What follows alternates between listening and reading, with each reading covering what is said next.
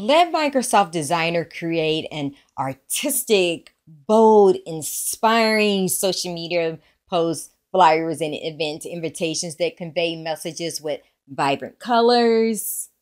Or you want something that has warm and cozy colors with sophisticated images.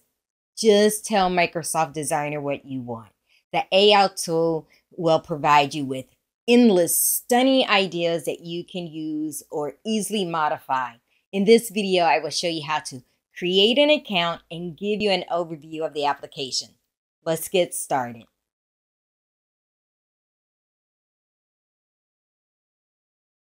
Okay, so I have navigated to designer.microsoft.com. I will add the link in the description below, but at the top right, click on Get Started for Free, right? And sign up with your personal Microsoft 365, Xbox, or Windows or account. And you even have the ability to create one. But do not use your Microsoft work or school account. You will get a prompt to create a personal account. Now, I wanted to share this page with you because I get so many questions about this error message. So go ahead and enter in your email address. Here's a tip.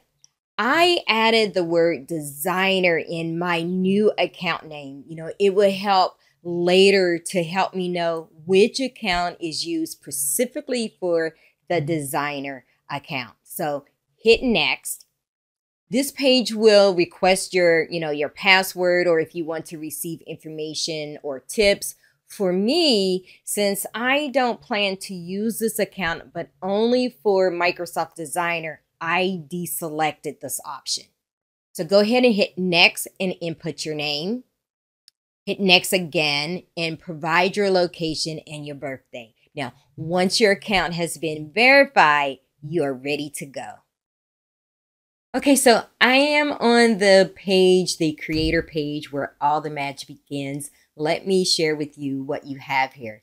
Across the top, you will see the icon to give Microsoft feedback. I do encourage you to give Microsoft feedback because this is a new application and you have the ability to influence change. So that's good. Next, you have the ability to manage your account. You can add your image. You can add a recovery telephone number associated with this account, which is important should you forget your, your password. And I did notice that you have ability to have this account associated with your work or school. You cannot log in with it, but you can connect the two. So go ahead and take a look at that. The other thing that I want to show you here is make sure you look at what's new. This application is fairly new. Um, notice that they have released a lot of new features. They have improved some things and released some new features. So continue to look here um, as you start to use this on hopefully on a daily, weekly basis. Okay, so here, this is where you're going to enter in your prompt, and I'm going to come back to that in a second look down here at the bottom. If you want to start from a blank canvas, you can do that. And once you create, you know, some of these um, social media posts or invitations, you can look at your recent designs by clicking this button here. Now, if you don't have any type of creativity juices in your, your body, Microsoft has given you a bunch of templates that you can choose from and you can modify the colors and the titles. So don't get hung up on that um, when you first look at some of the options that they have. So let's go ahead and create a prompt.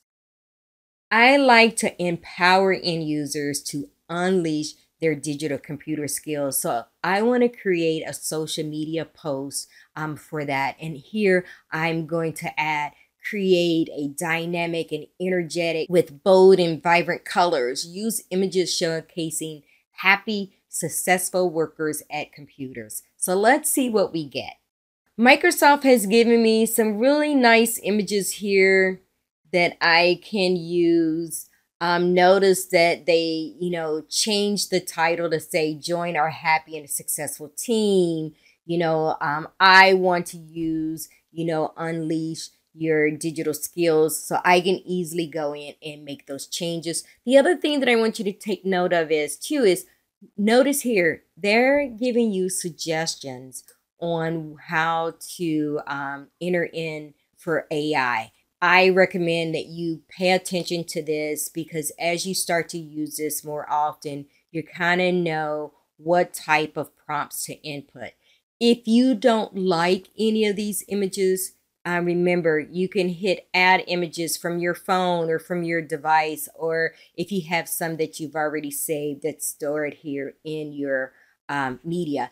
If you click on generate image, you actually have to come in here and um, put a descriptive here to see what you want. So I entered in happy workers at a computer. Notice that I can come here and choose what they have. So take a look. They have offered some of these images and I actually like this one here. And so I'm going to choose this image. Now, once again, now that I have this image, I'm going to generate it again. Okay, so this looks really nice. Look at the icon here that lets you know that it's animated. Um, or you can look at this option where it is a still photo. The other thing that I want to show you is that once you get these options, you have the abilities to change the size. Notice that you can choose portrait, which is for Instagram stories. You can choose you know, landscape that is for Facebook and the um, 1080 by 1080, which is for Instagram posts. If you choose any of these, notice you will get different images. And I'm going to select this one. Now that I've selected this, you know, notice that I still get some additional options to choose from. Again, I said endless options you do have um, a lot to choose from. Let's start across the top. You have the option to um, zoom your image, you know, at 100% or, you know, zoom to fit. You can undo and redo. If it is an animated um, image that you can play it so you can take a look at it. If it is a still photo, that icon will not be there. Let's make some changes. So I had said that don't get hung up on the colors because you have the option to choose, you know, a brand kit. Microsoft offers you some suggested styles. If you click on any of these, notice how it'll change. Notice that it will give you different options over here um, again, I think I like this one because of the different colors. Let's choose that. If you want to change some of the, the colors of these blocks, let's say you want to choose it as a different color, you can do that. What I like a lot is based on the colors that's in this image, it's giving you suggestions so you stay within that color palette. So that is going to be very helpful. Now, for me, I have brand colors that is associated with track creations for E. I had created that earlier. So if I wanted to use these colors, I can do so as well. Let's talk about text. I clicked on the text icon. You can click what do you want to design your design to say. You can add a header, subheader, and the body.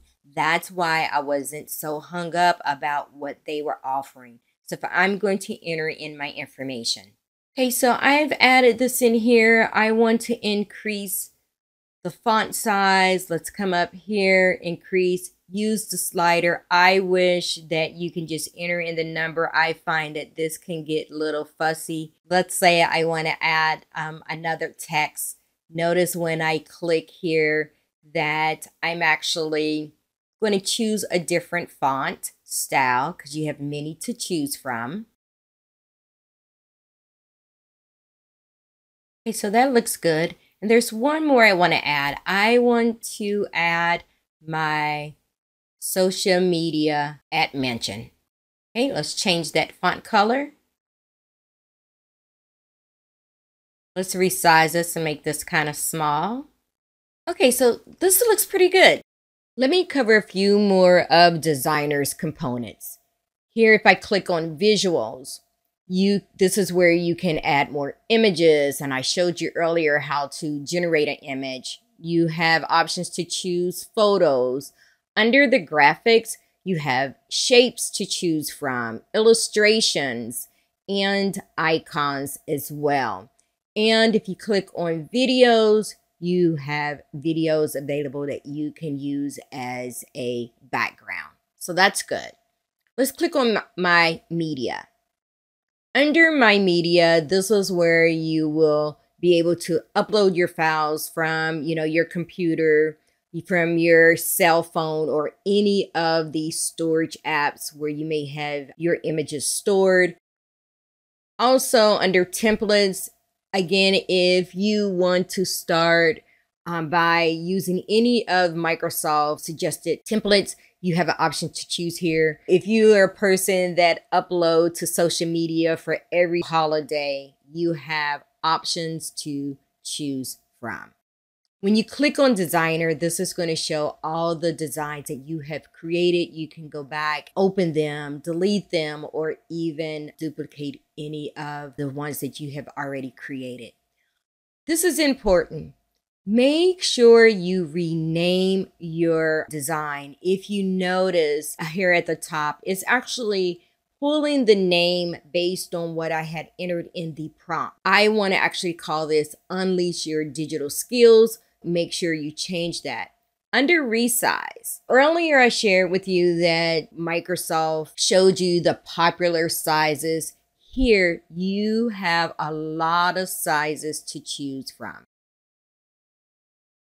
Here's your Instagram, Facebook sizes, LinkedIn, Pinterest, Twitter, and even some page sizes if you want to create posters. And you also have the ability to customize your own. Really good. This little icon here, again, if you want to generate some more ideas. And then lastly, down here at the bottom, add a page. You can create a blank page or duplicate a page. And I'm going to talk about this a little bit more later on in the presentation. Are you ready to unleash your creativity side? But first, hit the like button and subscribe to my channel for more Microsoft Designer tips. You know there's going to be more features rolling out, so stay connected. There's a couple things that you can do. You can download this, and because this is an animated um, clip, if you still want this just to be an image, you can choose that as well. You want to remove the watermark down at the bottom. It would say um, created by Microsoft Designer. You don't want that on your image. And you have the ability to either um, copy the URL to your clipboard. You can actually send this to your phone and upload it to your social media platform. If you hit download, it's going to actually save it to your computer and now you can go open it and you have access to it. Here recently, this is new. If you hit download and actually say use AI captions and hashtags and you want to try to upload this directly to your Instagram, Facebook, and LinkedIn account, you can do that. So what you want to do is just connect to your account, sign into your account, Okay, so now that I uh, have connected to my LinkedIn account, and uh, what's the main goal um, for this post? Awareness, you know, get more engagement, increase sales, or build a community. So we want to just say build a community. Write a quick description about this. So I just put something here empowering Microsoft 365 users, um, unleash your digital skills. Let's generate and see what it gets. Ready to unlock your digital skills and maximize your Microsoft 365 potential? I like that. So these are pretty good. So, you know, again, you have the ability to actually create um, and use the captions that they have, or you can actually choose some additional hashtag. I can actually add my own. We can up here at the top says choose where to publish. This is going to be nice because if I actually link all my accounts here, maybe I have the option to put this on three accounts at least. come at the top and let's hit publish to LinkedIn. I want to jump over and see what this looks like on LinkedIn. Okay, I'm in LinkedIn and there it is. Really nice. I want to go back to some um, designs I had created earlier. Let's go click on designer and my designs. So I had created this earlier um, and notice down here, it has pages one through four. Once you identify what your brand colors are, stop and think about a campaign, not just actually one at a time. Think about multiples. I created this version I turned around and just changed the wording around a little bit and changed the colors based on my brand colors. And I also added QR code and, you know, here's my logo and, and an image of me. And what I like about this is when I download, I have the ability to do a couple things. When I hit download, we have multiple pages, I was able to say, you know, download all of them as an image because I want to be able to use them one at a time if I wanted to. And because number two is an animated and I wanted my last page to be connected, I actually downloaded this and I will show you what that looked like.